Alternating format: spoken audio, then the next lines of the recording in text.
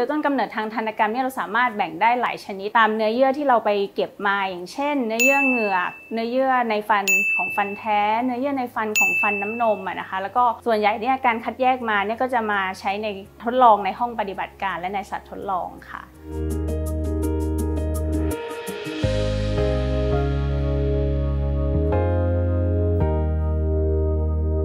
โดยหัวข้องานวิจัยที่ ที่ทำอยู่ในปัจจุบันนะคะ ก็จะเป็นการศึกษาเกี่ยวกับการใช้เซลล์ต้นกำเนิดทางทันตกรรม ในการฟื้นฟูเนื้อเยื่อกระดูกนะคะ สามารถแยกได้จากเนื้อเยื่อในช่องปาก โดยเฉพาะอย่างยิ่งเนื้อเยื่อฟัน โดยก็จะมีวิธีคร่าวๆนะคะก็คือการเอาเนื้อเยื่อเนี่ยมาเพาะเลี้ยงในห้องปฏิบัติการ แล้วก็หลังจากนั้นเนี่ยหลังจากเซลล์เพิ่มจำนวนเป็นจำนวนมากแล้ว ก็เอาเฉพาะเซลล์ต้นกำเนิดมานะคะ โดยเซลล์ต้นกำเนิดทางธันกรรมเนี่ยเราสามารถแบ่งได้หลายชนิดตามเนื้อเยื่อที่เราไปเก็บมาอย่างเช่น เนื้อเยื่อเหงือก เนื้อเยื่อในฟันของฟันแท้ เนื้อเยื่อในฟันของฟันน้ำนมนะคะ แล้วก็ส่วนใหญ่เนี่ยการคัดแยกมาเนี่ยก็จะมาใช้ในในห้องปฏิบัติการและในสัตว์ทดลองค่ะ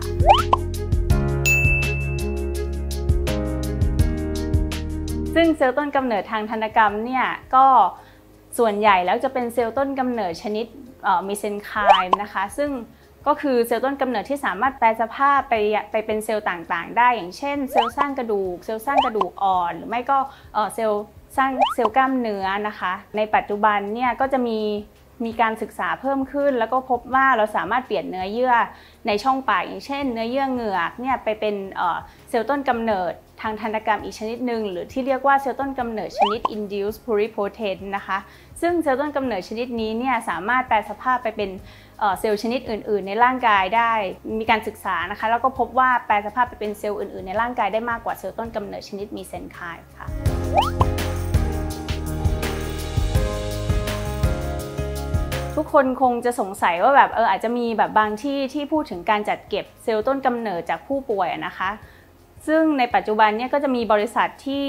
สามารถรับจัดเก็บเซลล์ต้นกำเนิดได้ แต่ทีนี้เนี่ยก็ยังไม่ได้มีการศึกษาว่าหลังจากเก็บแล้วเนี่ยเราสามารถเก็บได้นานเท่าไหร่หรือว่าสามารถนำมาใช้จริงละลายเซลล์ออกมาใช้จริงได้หรือเปล่านะคะก็วิธีการจัดเก็บเพื่อการทดลองนำมาใช้ในห้องปฏิบัติการนะคะ ก็นำเนื้อเยื่อ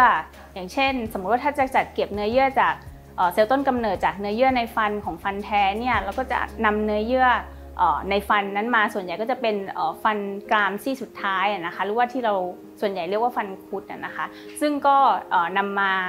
เพาะเลี้ยงในห้องปฏิบัติการจนได้ปริมาณเซลล์จำนวนมาก และหลังจากนั้นเนี่ยก็นำเซลล์มาคัดแยกนะคะคัดแยกเฉพาะเซลล์ต้นกำเนิดโดยใช้โปรตีนจำเพาะสำหรับเซลล์ต้นกำเนิดค่ะ you